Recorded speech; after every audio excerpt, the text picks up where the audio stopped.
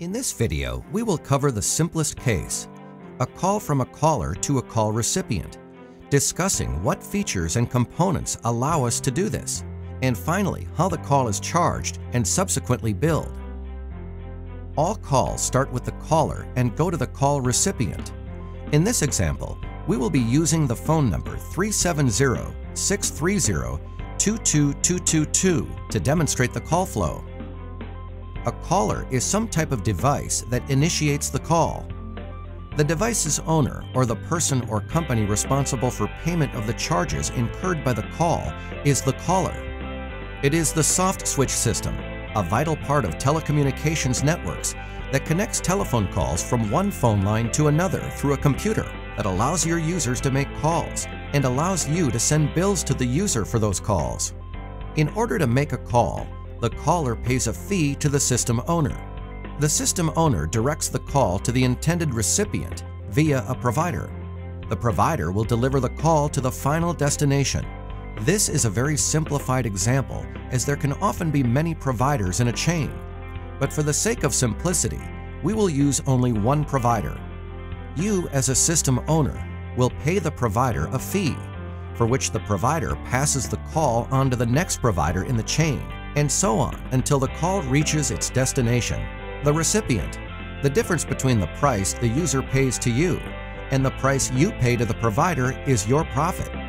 These are the main components that allow transmission of a call from a caller to the intended recipient, thereby allowing you to bill the user for the service.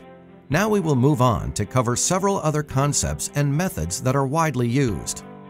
A prefix is a number sequence that tells us the general location of the number owner, the country or city, and even the type of network the number is on, such as a mobile GSM or satellite network. Let's take the number from our example.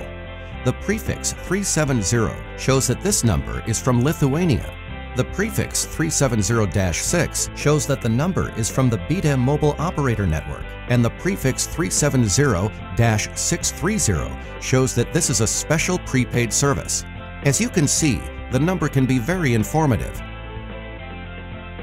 The tariff or rate plan consists of an organized list of many rates to various destinations. An LCR or routing plan tells the system how the call should be routed and which providers should be selected. It is useful when there are several providers for the same destination and we have different selection conditions. For example, this might allow us to choose the cheapest service or the service with the best quality connection.